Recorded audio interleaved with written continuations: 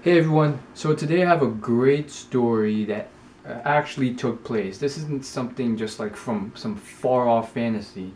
This is something that actually took place, and it's a great story of how uh, it's not too late if you're in your late 30s to uh, accumulate wealth. And it's also a great story on how this man, uh, despite having a decent salary, uh, he decided to make this into something more worthwhile and it's very admirable like this isn't the only story of a athlete I know of who has realized that he still has many years ahead of him after his main career has ended and decided to do something great about it. So without further ado, here's the thing. This man, his name's um, Lee Jr. Bridgeman and he's a very successful entrepreneur. But he started out playing 10 years for the NBA back in the 1950s, and this was a time when they weren't shelling out millions of dollars to players to play. And he actually left his professional career after over 10 years of playing right when they started making the big money and shelling out the big money. So he, he didn't make exorbitant, extreme amounts of money when he played at the NBA. And guess what he did while he was in the NBA and afterwards? He was at Wendy's. He was learning the business and he was learning it up and working at the local Wendy's during the off seasons and he grew that into owning a franchise for Wendy's. And then he started owning multiple franchises. And then when he started really understanding business, he, he grew it and grew it and grew it. And after many years, he now has a net worth of uh, around $400 million from these assets, these businesses that are earning him a lot of money. And now he has over 160 Wendy's. He's branched out to own uh, uh, 100 Chili's restaurants and he's one of the top 20 richest African Americans according to the Forbes magazine. And it's just so ridiculous. Like, uh, I mean, he now oversees over 11,000 employees, and this is something that's it's very admirable because um, there's a lot of careers out there nowadays uh, that are that have very short shelf lives. And if you compare the entire span of human civilization, uh, it's very recent that we have all these eccentric, varied, uh, very numerous and very different careers. Like for 99% of human civilization, if you look at the whole thing, you've had very limited choices compared to what we have today. Like literally, I just read an article on 35 job titles that are in demand and they're just so bizarre not bizarre in a weird way like you've never heard about it, it but it's just like so detailed like the most random stuff like graphic designer and um, uh, consultant and all sorts of things like you, you can make a living as a model if you're lucky nowadays and now that instagram's opened up there's so many uh, females uh, that's even 50 years ago, they probably wouldn't make it as a model because of Instagram. Uh, that platforms open up that opportunity to more individuals.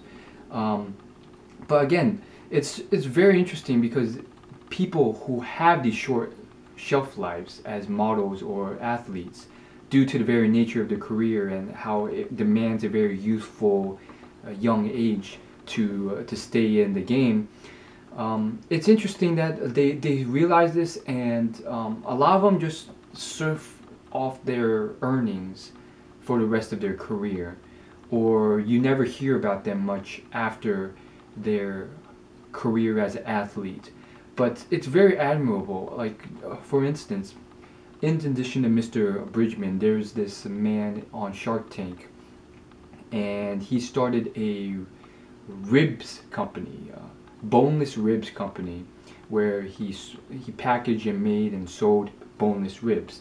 And it was this great thing because he was a successful NFL uh, football player, and then he stopped that, and he still had a life. It's not like your life is over afterwards, and he had all these years, and he decided to do this, and he quit for a long time, and then uh, inspired by his daughter quitting track and saying, "Well, you quit your business, therefore I can quit track." He decided to pick up his ribs business again, and he ended up on Shark Tank pitching his business, and he, I think he actually got a, a, deal and a great investment in his business, and it's just interesting how.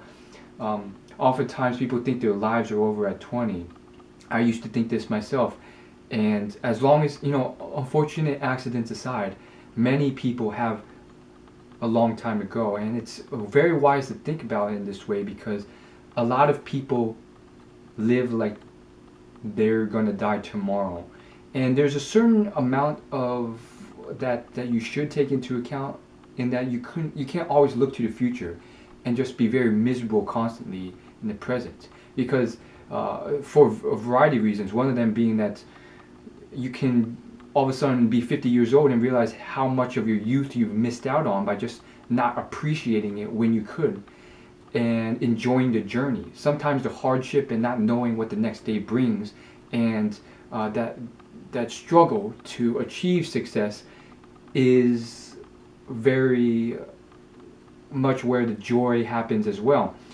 But um, putting that all aside, uh, a lot of people spend money like they don't realize they have another 30 years or 40 years 50 years to live. Unfortunate accidents and illnesses and cancers aside um, and you see it a lot in many youthful uh, kids nowadays and probably a lot of the models and athletes where they spend all the money they make on a monthly or yearly or daily or weekly basis and if they make $10,000 from a modeling gig, they'll spend $10,000 on clothing and stuff like that. And I've heard stories about like uh, people who have seemingly lucked out genetically or lucked out in the genetic lottery by having good looks or just falling into a situation in life where they're paid to model.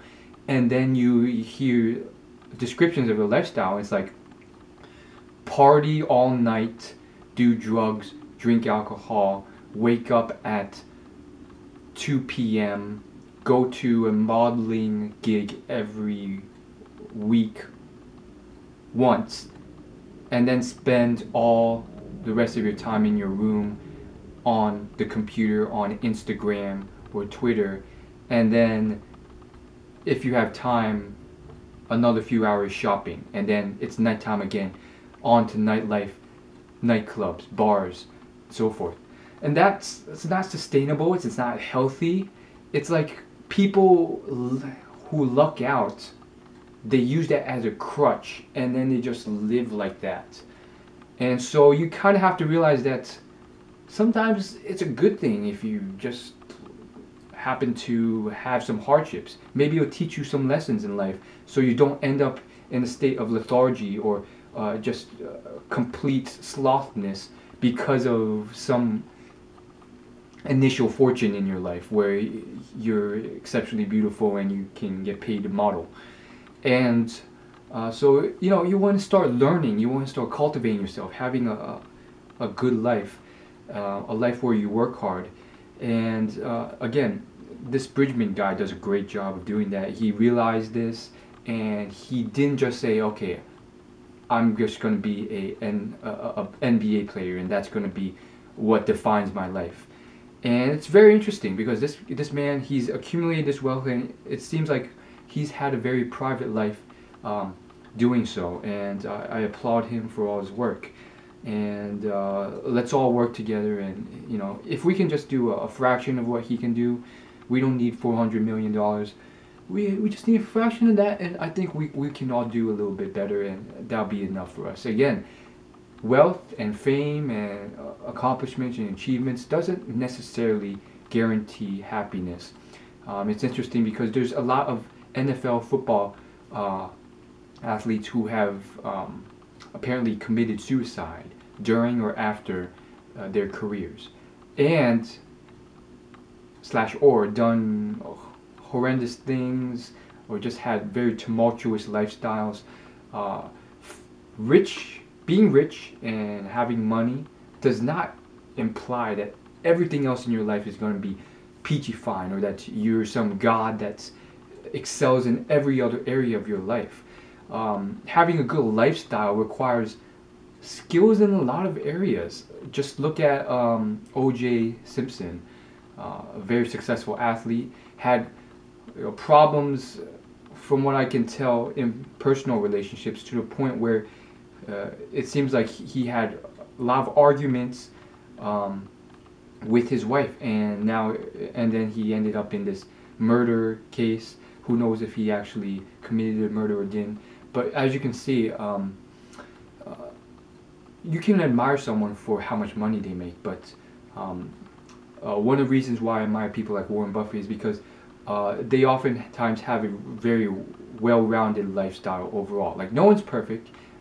Buffett isn't perfect, um, but generally, uh, he said one of the things he says is that um, when you get to the age I get to, you start measuring your success in the people that you want to love who actually love you, not so much how much wealth you accumulate.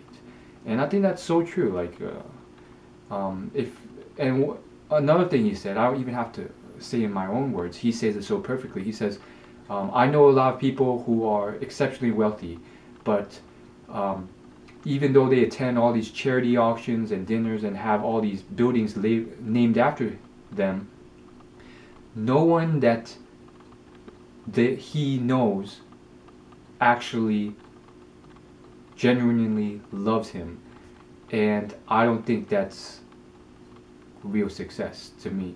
And I think that's it's very it's somewhat deep profound thing. It's like man, this this man seems to have accomplished a lot, done so much, achieved so much wealth, and no one he knows actually genuinely loves him maybe a lot of people flash him fake smiles or maybe cater to whatever he wants to please him, maybe for his money, but um, that's not something that you want. And so that's something I need to work on for sure, and I think everyone else out there can start working on. And there's always room for improvement. I know there is for me. And so uh, you, you guys kind of have to think about all that, and it's, I think it's very useful. And um, yeah, let this be a lesson, you know, work on your uh, learning and improving and creating wealth. And be like this man who decided to work at Wendy's in his off season um, and start learning about businesses and stuff like that. And uh, I think uh, oftentimes you're not singularly defined by one specific thing. Uh, it's not like if you choose basketball for the rest of your life, that's all that you will ever be, this one dimensional character. And Mr. Bridgeman has proved it, and I, I think generally most of us have lots of interests. Um, uh, but you often have, times have to choose one big interest that you have to stick to for financial success. Maybe two. Um, uh, so don't go crazy and just be a jack of all trades. Oftentimes you want to stick to one thing, computer programming or basketball. But oftentimes, as Mr. Bridgeman proves, um, that one thing doesn't have to define you. You may have enough time in your life to be great at two things or three things. Um, and uh, that's all I really want to say in this video. If you liked it, leave it a like. If you like, if you found this video informative, made you think, helpful, uh, go ahead and share this with someone you think would uh, benefit from this. Uh, and uh, also, if you're not a subscriber, hit the subscribe button. It'll let you know when my new video is out. And most, most importantly, leave this video a like if you liked it. I'll see you in my next video. Thank you so much for watching.